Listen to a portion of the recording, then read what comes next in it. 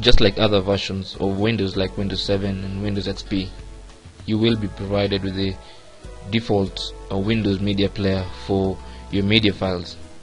You can also install VLC media player in your Windows 8.1 PC so I'll be showing you how to do this. The first thing you need to do is go to uh, your browser. If you haven't installed Mozilla or Google Chrome you can use Internet Explorer.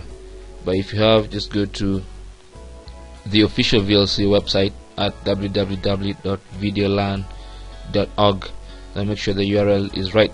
So this is the page you're going to get. So you want to click on this button that says download VLC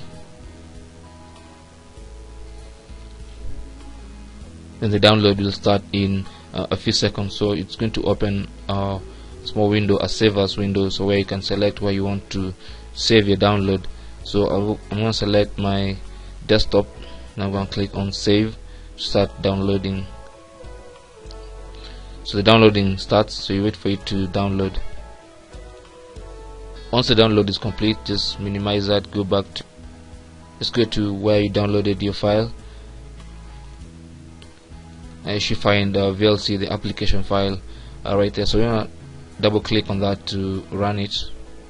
When the installer language dialog box appears select the language in which you want to uh, install your VLC media player. Mine I'll use English so click OK. Then I'm gonna click on next. Then I'm, I'm gonna click on next again to agree to the terms and conditions. Here's where you choose which components you want to install but I think if, if you don't have anything particular you you want to install just use the recommended settings and click on next.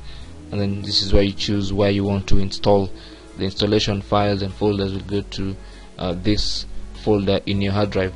You want to click on install uh, once it's done click on finish. And uh, VLC media player uh, will be launched. As you can see it's already been installed.